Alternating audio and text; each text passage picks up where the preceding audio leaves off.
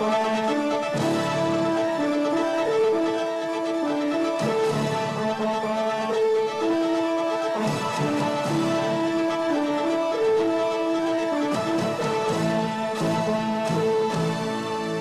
estamos todos aquí reunidos en el aula porque vamos a hacer la primera convocatoria en esta reunión tan importante que va a ser acerca de la pérdida de José Carlos. Miren bien la foto.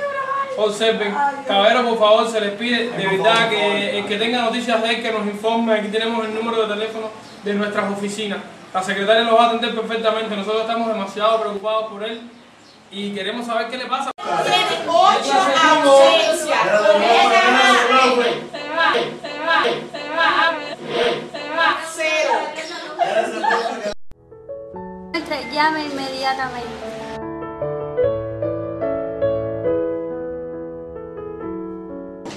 profesores nos han dicho que eres un buen alumno, es estudioso. Yo no sé cómo lo dijeron, si nunca Yo no lo sé, yo no sé de dónde sacaron esa opinión porque lo estamos buscando justamente porque no viene a clase. Le queremos decir que si alguien tiene alguna información sobre él,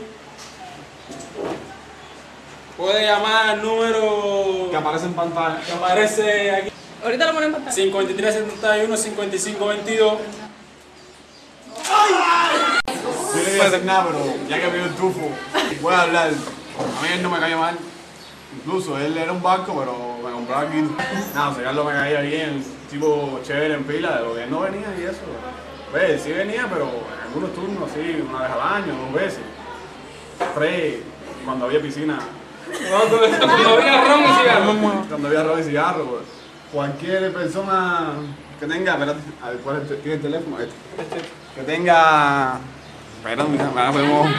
Él no dicho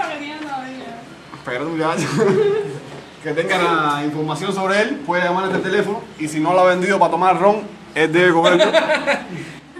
y seguro ya, no era, no, no sé. Ay, no, eso no se puede. No se puede darle. Uno que diga, yo no me llevo bien con él, no sé. Amigo, ¿cómo está?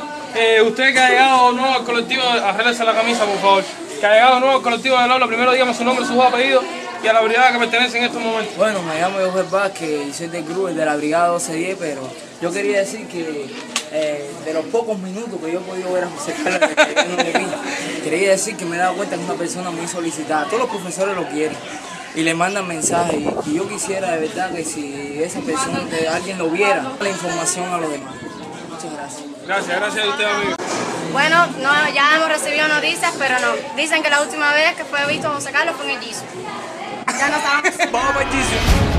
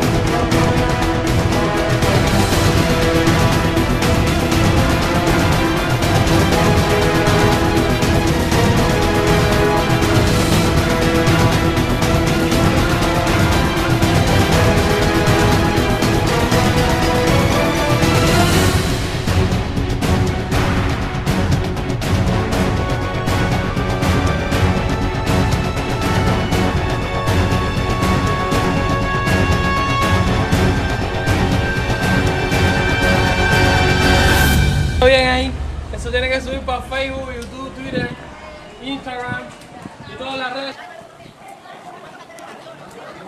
¿Qué te-